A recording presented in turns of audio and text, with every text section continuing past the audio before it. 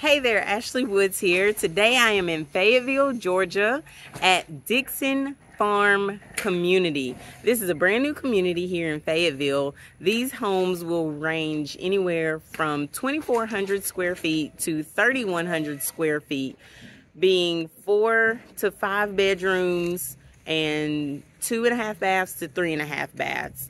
This is DRB Homes is the builder. I would love for you to come in and tour this home with me. Let's go.